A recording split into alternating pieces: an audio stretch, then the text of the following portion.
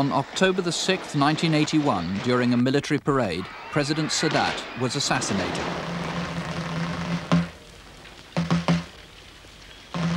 This had all the trappings of a hero's farewell as Egypt paid its last respects to its assassinated president.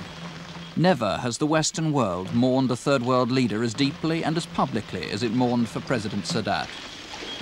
Today's ceremony belonged to the Egyptian leaders and to dignitaries from 80 foreign countries. The mourners were led by Sadat's son Gamal. Vice His funeral procession was attended by most of the Western leaders, and it was followed step by step on television by millions throughout the world. Chancellor Schmidt and French President Mitterrand were among the dignitaries behind them. The American delegation, including former Presidents Carter, Ford, and Nixon, was in the back of the group of mourners, surrounded by Secret Service agents. Israeli Prime Minister Begin walked in the middle of the security, flanked by former Presidents Ford, Carter, and Giscard d'Estaing of France. The commentators reported it was a Western funeral, and they all wondered, where were the Egyptians? Cairo is calm today, surprisingly, extraordinarily calm. There's no great display of troops in the streets. The transition of power here at the Parliament building seemed to go smoothly. And on the streets of Cairo itself, the people show none of the emotion that might be expected on the morrow of one of the nation's greatest tragedies.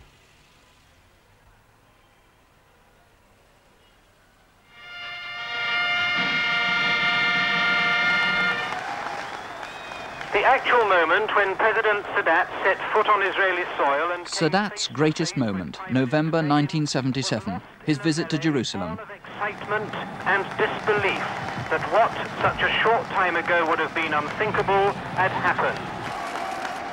The Western world, thirsty for heroes, looked on in fascination at this extraordinary man who'd broken with the past and now dared go and speak of peace.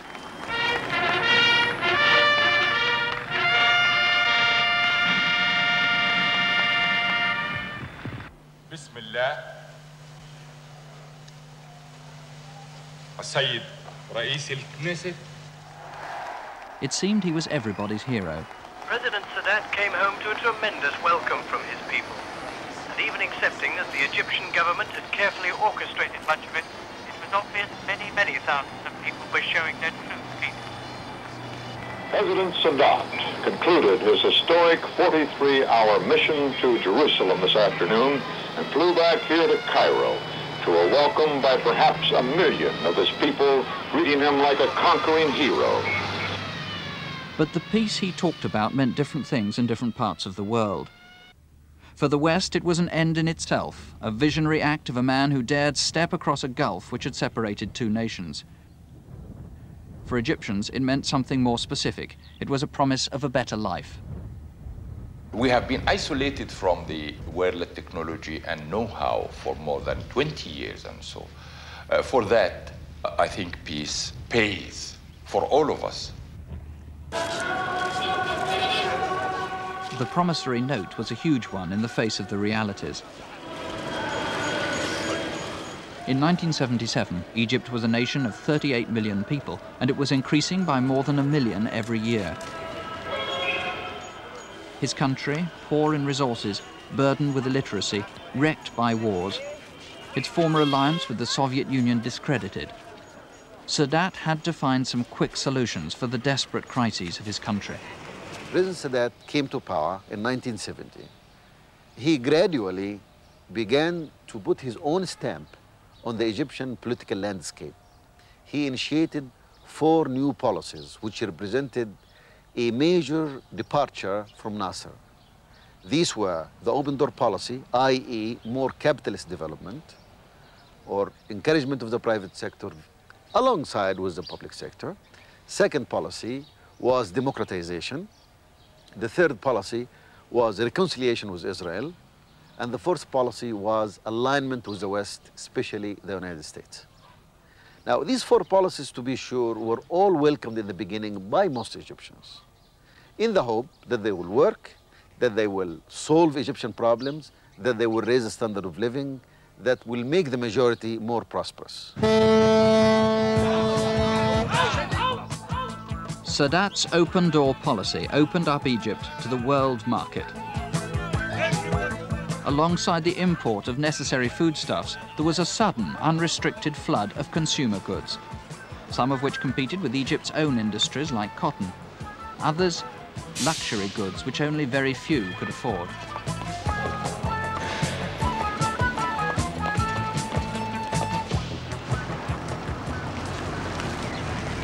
It created a new class of rich middlemen and allowed many of the old landowning families who'd lost their wealth under Nasser to re-emerge in a new guise as entrepreneurs. My grandfather was very, very rich. Uh, during the 60s, everything was nationalized. My father was even prohibited to work. So uh, he went to Saudi Arabia and he started all over again. After the open door policy, we returned and I think now we're even much, much bigger than uh, before the 60s. Shimal.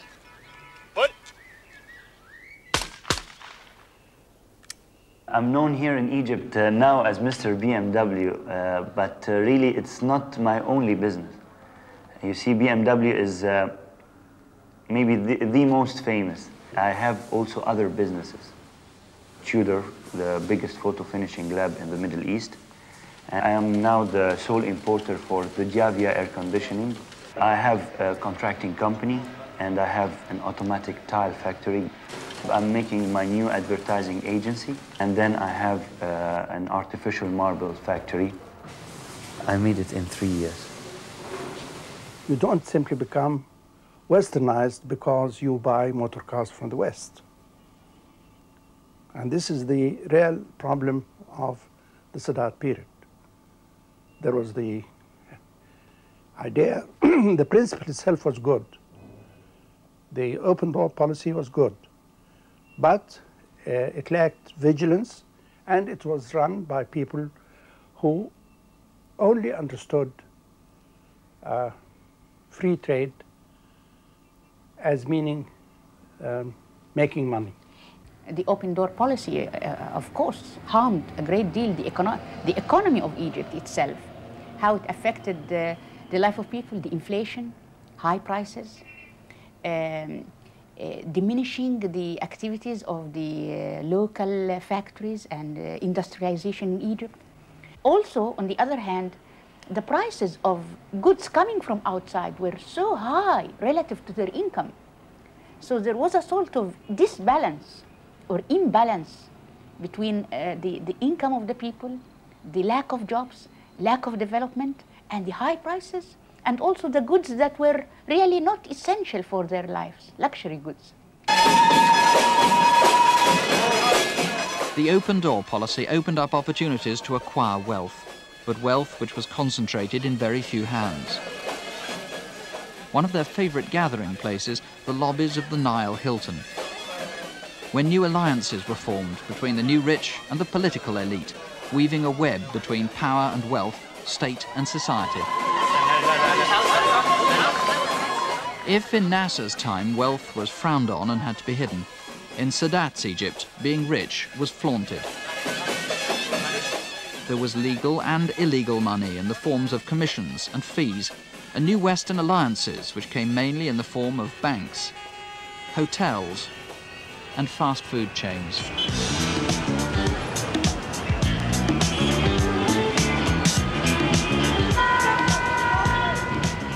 Wanted to open all doors to everybody without any uh, systematic policy or uh, any defined objectives for the national economy as a whole.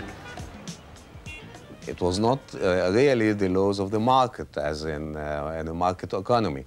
And of course, it was not uh, a planned economy. Then it was nothing, it was absurd.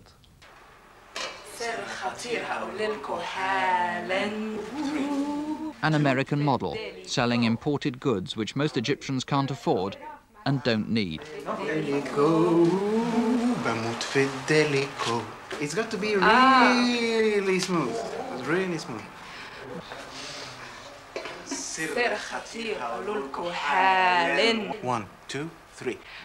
بدالكو بموت في الداليكو عايزها بالشوكولاتة ولا فراولة ولا فانيليا آيس كريم دوسي أحسن آيس كريم في الدنيا جاي من كاليفورنيا جري جري جري عشانها بوم بوم بوم بوم I love Snoopy Snoopy loves me I love Snoopy This was not what Sadat had in mind.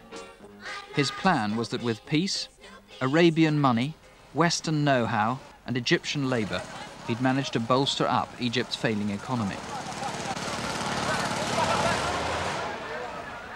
But the Saudis and the Gulf sheikhs who didn't like his new peace with Israel wouldn't play. As for Western technologists who'd something to contribute to Egypt, the few who came soon went back.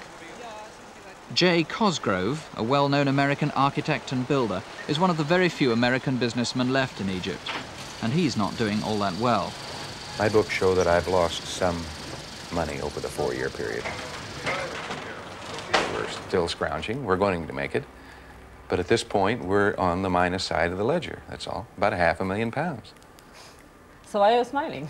because I'm going to make it eventually. Because the market here is unbelievable. Now the United States and the European community is pouring money in here, and this demand for housing is greater than anywhere else in the world. Cosgrove teamed up with Egyptian partners, as Sadat's law required, and went into business. But it soon became clear that it took more than passing a law to make these joint ventures profitable or even possible. What Sadat didn't recognize in his search for Western help was the difference in attitudes, in cultures. We have differences of opinion and different techniques in attacking these problems totally. And the way we handle that is just struggle along with the best compromise we can come up with because they own the equipment. So I cannot make them repair the equipment. I cannot make them do things they will not do. We have to clean these things up. We have to take those every afternoon and flush them out with water. Take care with the greasing and lubrication and keep the thing functioning properly. They won't hire good operators. Uh, and of course, they won't follow our uh, maintenance techniques. For instance, in a maintenance procedure, you would anticipate the, the uh, wearing out of belts and hoses and wires and so forth, and it has a certain life. The manufacturer tells you what life it is. So you set up a schedule, and you anticipate these things and change them before they break, because if you wait until they break, then the machine's down for weeks, and that costs you a great deal of money. They don't see that. They'd rather go fix it afterwards. Let it break. Other things were breaking too, like trust and confidence. Cosgrove's problem this week was that as far as he knew, no money had come in from the Egyptian client, as it should have done. He called a meeting with his partners. It only managed to highlight one more reason why such joint ventures failed. Between the different cultures, there was only a thinly veiled mistrust. Have you been collecting any money? No. Just waiting. He's waiting. If we can produce three apartments per day, then we can get some money, if it's possible. Has Shikawi agreed to give you any kind of a coverage for your overhead? Yeah, he agreed, provided that we give him three apartments per day, as you promised him. All right. Yeah. As I promised As him. you promised, yes. As we promised him. See, don't, don't As make that you- differentiation. As you promised, because anyhow, we are following your instructions. Right. From no, the you're day not, we, you're are, not we following that my side. instructions. If you followed my instructions, you'd get three flats a day. Well, if I follow your instructions, I don't get two per day. No, you would get the three. Problem, the problem is I, I, I have my own instructions on the other sides. That's why I'm, I'm giving a completely beautiful uh, target and good programs. Where is that? In other sites. Oh, other sites. Yeah. And this is the Which problem. remain uh, nameless. Hmm? okay. okay. And if you look at the evaluation of the open door policy in Egypt, you, you, you, you find it is positive. See the number of banks which were opened here, the number of projects which were opened here, the encouragement for the private sector to put their money in the open door policy is huge in this country. No matter if some corruption, so that we, we have to avoid the corruption, to, but to continue the open door policy in this country. The advertising signs of the company called Arab Contractors came to symbolize for many Egyptians much that was wrong with the open door policy. Rumors of special relationships came to haunt President Sadat. Arab Contractors is one of the largest companies in the Middle East, certainly the biggest in Egypt. I think we are the biggest by far, and the, the size of the next company after is one tenth of our size as far as turnover is concerned.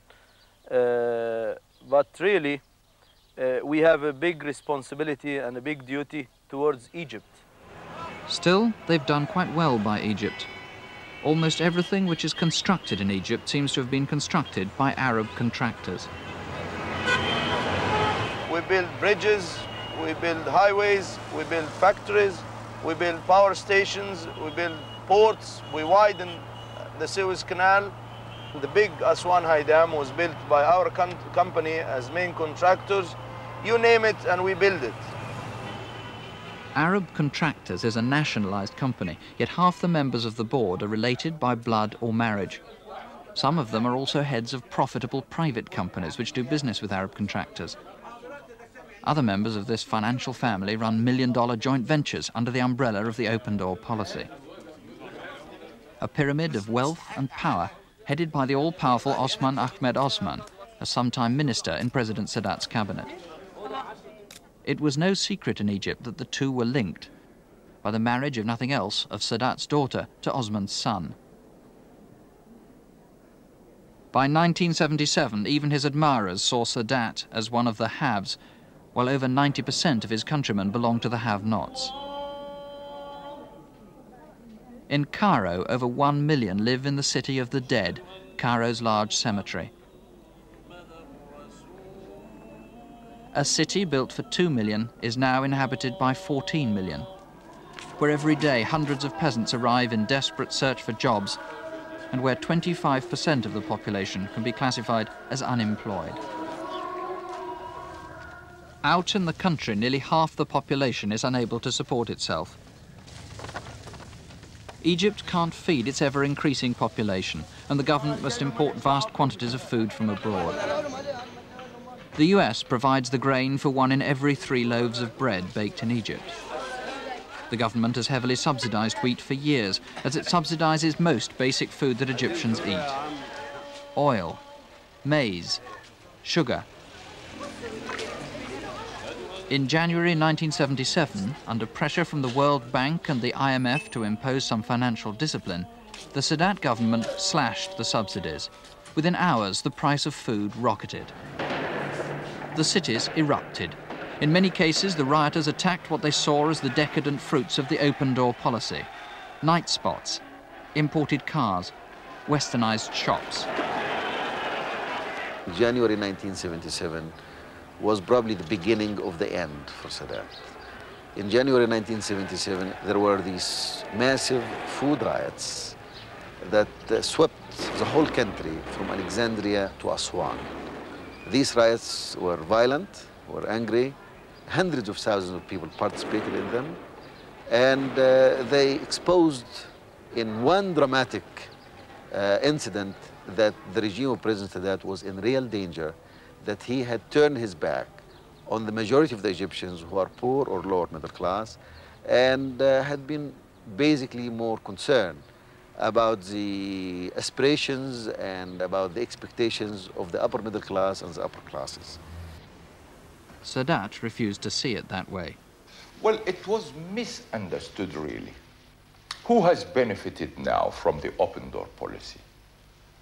The taxi drivers. Are they, uh, are they uh, rich or are they from, uh, I mean, uh, uh, uh, a high rank or so in the country? No. Uh, uh, the laborers, all the laborers in various, uh, in various places here and in various um, work here. All, all those has benefited from the open door policy. It is not like they say that uh, uh, there, has, uh, there are millionaires here and so. No, not at all. This is pure, pure um, um, black propaganda from the side of the Soviet Union and his agents here in the country. Instead of understanding the riots of 1977, which were massive, as they really should have been understood, He blamed them on outside agents, agitators, communists, uh, thieves, thugs, and did not pay attention to what was really happening in the society below. The society below was a fundamentalist society, fiercely jealous of its traditions and proud of its cultural heritage. Egypt had always considered itself the center of the Islamic world. Now it found that Sadat's policies were alienating other Arab countries. It was painful. His importation of Western ways and customs was jarring, sometimes intolerable.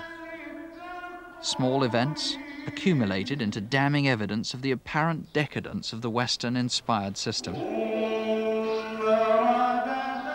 the ordinary person in the street, when he saw on the television President Carter kissing uh, Sadat's wife, they were so angry. Women in, in uh, the mind of uh, the, the Egyptians are something very untouchable. You see, when things come to women, uh, there is another thing. We speak another thing, you see? Mrs. Sadat's championship of women's rights, a Western concept, didn't endear her or her husband to a fundamentalist, male-dominated society. The divorce here for the Muslims are very easy to divorce their wives. And this is what I don't like at all, and I am fighting for this, and I believe I will uh, reach it one day and soon. Her examination for a university degree in Islamic and English literature taken with the full publicity of national television, her husband in attendance and the whole nation watching, alienated the fundamentalists. It also embarrassed the educated, who muttered about a new Evita. هي ديفنسيف بوتري وبيعتقد ايضا انه شيلي تاثر او اخذ مفهوم الخيال من كوليريدج some of the most widely publicized of Sadat's activities seem natural to American audiences, but they angered many Egyptians. The Sadat family's favorite charities. Egypt, once the capital of Arab nationalism, is having a love affair with the West. The latest embrace was for Frank Sinatra, his longtime support of Israel, just a forgotten detail. There were fashion shows and museum tours in the three-day benefit, held to raise $500,000 for a Cairo rehabilitation center, sponsored by President Sadat's wife, Jehan. It attracted donors from Australia to New York. Most paid more than $5,000 for three glittering days and nights on the Nile. Few Egyptians attended. Chicago, Chicago, Chicago, my kind of town, Chicago. When Sadat assumed power, there were no veiled women in Egypt. By the time he was dead 11 years later, there were hundreds of thousands. The veiled women of Egypt, this is their answer. By veiling, they're answering all this avalanche of American commercialism, of the Western, uh, or the attempt at Westernization, the cocalization of Egypt.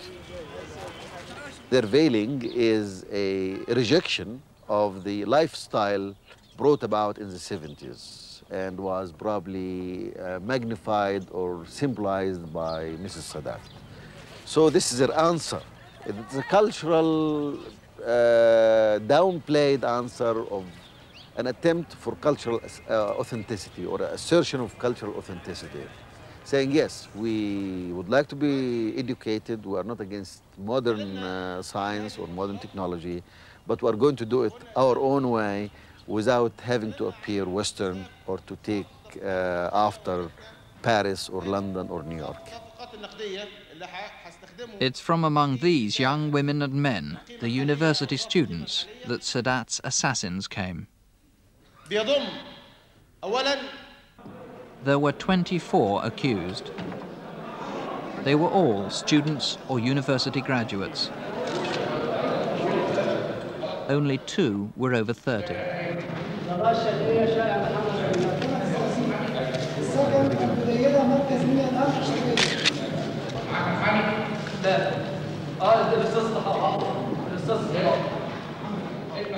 Uh, the typical Islamic militant, the angry Islamic militant, who would uh, probably go all the way as to kill a leader, a political leader in Egypt, is typically young man. He is a university student or a uni recent university graduate who comes from lower middle class, who is probably from originally from the countryside or from a small town, but who is currently living in a big city like Cairo or Alexandria.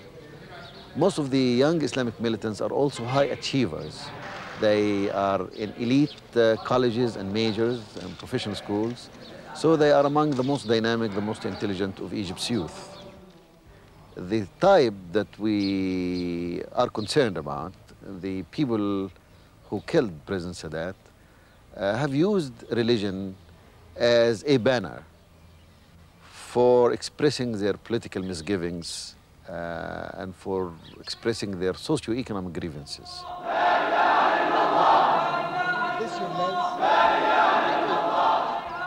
But in terms of their background, in terms of their problems, their grievances, they are not really much different from the majority of youngsters of their uh, background and class. Uh, they share with probably hundreds of thousands, if not millions, the same grievances, the same problems. And that's why it's only a matter of weeks or months before any one of these youngsters that you meet in the streets of Cairo or Alexandria, uh, with the profile I just described, could be turned into a, uh, an underground Islamic militant. Sadat undoubtedly had his struggling people in mind when he hobnobbed with the leaders of the West, hoping that a Western alliance, economic aid and peace would bring the needed relief to Egypt's problems. You can say one thing, that he was concentrating more on foreign affairs than the local affairs. You can say this. But he was with the idea always that once the foreign uh, matters are solved, so this is going to reflect on the people inside, either in the cities or in the villages. My people are very patient. One of our characteristics here in this country, we are very patient. But all the signs show that in a very short time, let us say two or three years to come until 1980, we shall be uh, really uh, uh, if we continue to work on this rate of wear, uh, I think we shall be starting the takeoff at the end of 80. Abla and Ahmed have been engaged since 1979. Three years later, they were still looking for somewhere to live. My problem, I want to marry, only. I want to get married. Peace, no peace, American. Peace, no peace, American, no American. Saeed works in one of Egypt's largest newspapers, Al Ahram. He's a writer and a political researcher. Like most of his friends, he's the beneficiary of Nasser's policies, which offered free university education for all. The result is that there are 40,000 new graduates every year and very few real jobs for them. So the government creates jobs, jobs which pay between 40 and 65 Egyptian pounds a month, 20 to 30 British pounds. Saeed's wife, Ahsen, is a set designer, but she's unemployed. So Saeed must work till the small hours of the morning, doing whatever comes his way, translating, writing and editing. But money, much as it's needed, is not his only preoccupation. Money and the freedom. Uh, there is no difference between them freedom for me is a very, very important thing. You know, this is a matter concerned to my life itself. I'll tell you something. I'm working at Al Ahram from uh, about uh, three years. During the, oh, the whole period, I wrote many articles, many researches and so, but I wrote uh, I didn't write, in fact, one word about Egypt. I wrote about Israel many, many times.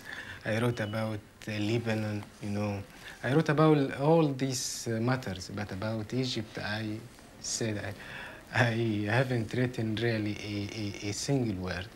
This is, uh, of course, uh, very, very sad for uh, anyone like me.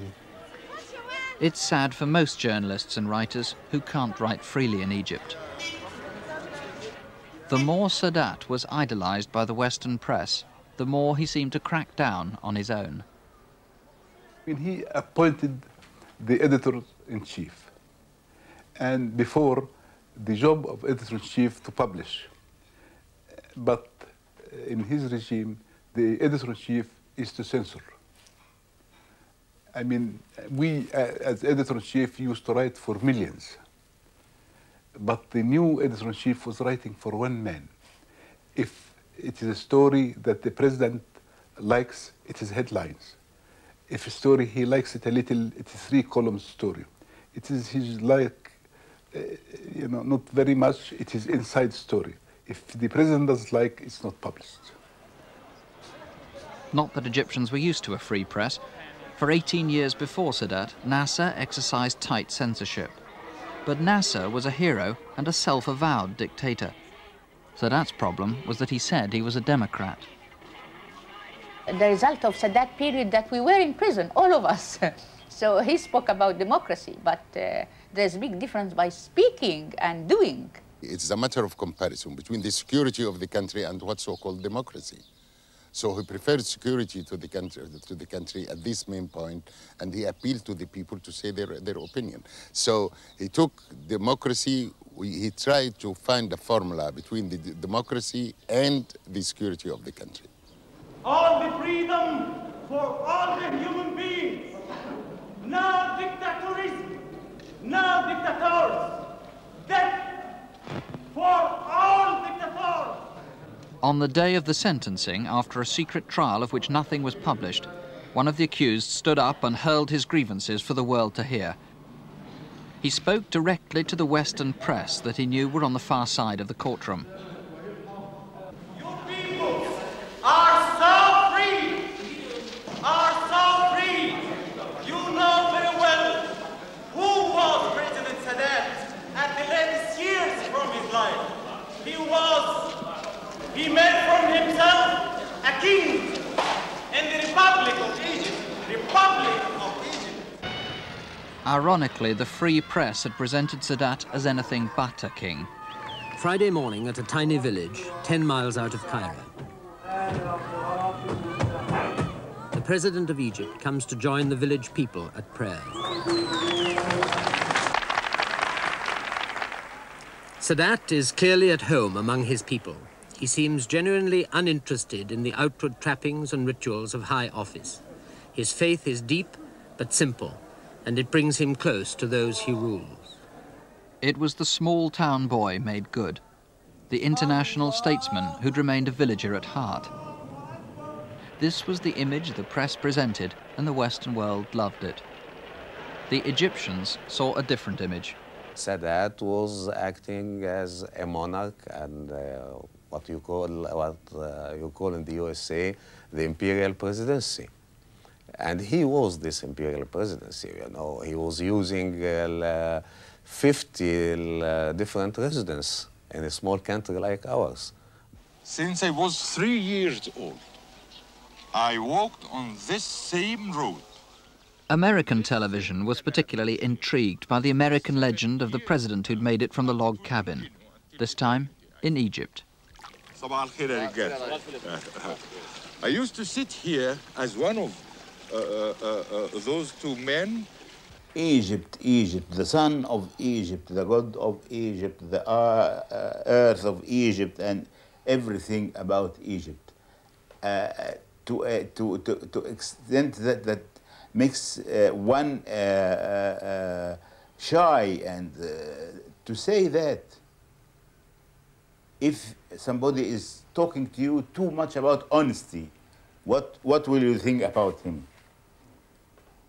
He comes to you and say, "Hey, look, as an honest man, I say this because I am honest. And honesty uh, uh, forces me to do this and that, uh, as all honest people like me. And it, it is, uh, uh, this is uh, prostitution. Good evening. Not since the founding of the modern state of Israel, not as It was perhaps difficult for Sadat to stay tuned in to his small country when he was linked by satellites to the whole world, his every move followed and heralded by the world media. Egyptian President Sadat and Israeli Prime Minister Begin. It happened this way earlier today in CBS News interviews with the two leaders. If you get that formal invitation, uh, how soon are you prepared to go? Uh, uh, really, I, I'm looking forward uh, uh, to fulfill this visit uh, in the uh, uh, in the earliest time possible. He hinted uh, to me this morning that he thought it might be possible that he would be going to Israel if the invitation was forthcoming within a week or so. Do you think that's realistic? Very good news. Good evening. This is Cairo on the eve of modern diplomacy's most daring venture. The American media did more than just report the event, at times it played an active role in it. Even before the plane touched down in Israel, Barbara Walters told ABC viewers what Israeli leaders would learn only the next day. Prime Minister Begin has said that they are willing to talk the principles of peace with you. They are willing to talk specifics and substance. Are you willing to do this? Sure, for sure, I am willing to do this. If they are ready, I am ready. The love affair with the Western media, which began in Jerusalem, would continue long after it. Through American TV networks, Sadat became a more familiar figure than any contemporary world leader, projecting a warm, human personality. Well, believe me, Walter, I am in a dilemma. I don't know. Will he be uh, coming to, re- to take his uh, responsibilities in the Western Bank or so, or will he be wavering or so? I don't know. But today, did your husband say to you, I think we're going to make it? I think it's going to work out? Oh, yes, yes, yes, I can feel it really. Walter, I shouldn't like to uh, this to be taken as an ultimatum or so, but I have Uh, uh, I have explained the whole matter to President Carter. This is a fine man. It wasn't just television. Newspapers and magazines joined in.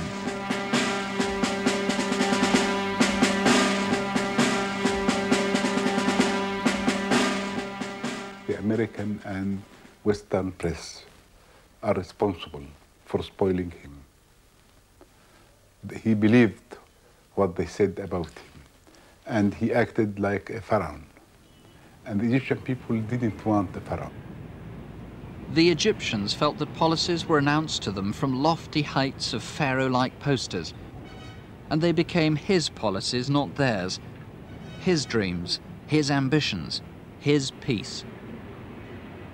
Too often, his words were aimed towards American ears, not theirs. The United States holds in its hands more than 99% of the cards of this game. In Cairo, the words were jarring. And there comes Sadat after the first war that we have ever sort of felt refreshed after, which was not a, a, a defeat and things. And he just comes and says that 99% of the cards are in the hands of America. Well, that leaves 1% for the whole lot, the whole world, you know, Arabs, Israelis, United Nations, Europeans, Japanese, the whole lot. So that leaves us Egyptians probably 0.0001% or something. And uh, what could be more of a defeat than that? You know, when 99% of your destiny is, is being decided somewhere at the White House or the Pentagon or somewhere in the world, you know.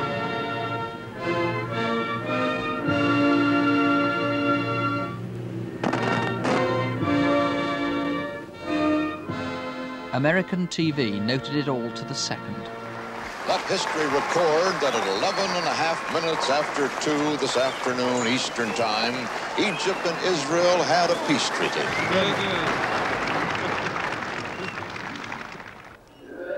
The handshake that electrified the world did not electrify Egypt. What is Egypt? Egypt to, to a person who's, who can't read, who doesn't know very much about the world and the, Israel and whatever, whatever. Egypt is home, uh, food, transport, people. I mean, it's not just a few lines drawn on a map. Uh, and just look at it. what does Egypt mean? It's, it's, it's not just this abstract concept. Why not give every person his little Egypt before telling him live for Egypt, die for Egypt, Egypt first, Egypt above all, Egypt whatever. But the Egyptians did not get their little Egypt. The promises were not delivered. The expectations were not fulfilled. In the time they were ready to allow him, Sadat's policies did not pay. And there was restlessness. It all came to a head in the summer of 1981.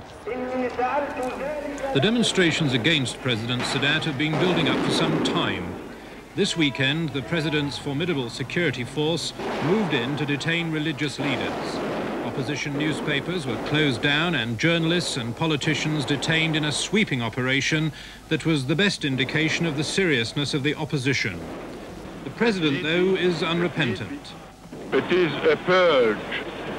When he arrested 1,500 people in one night, I thought this is the end of him. He signed his death warrant.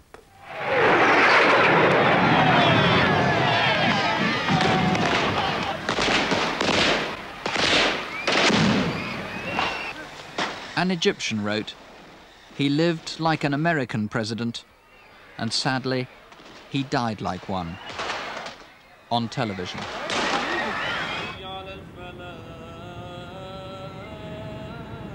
Cairo is calm today, surprisingly, extraordinarily calm.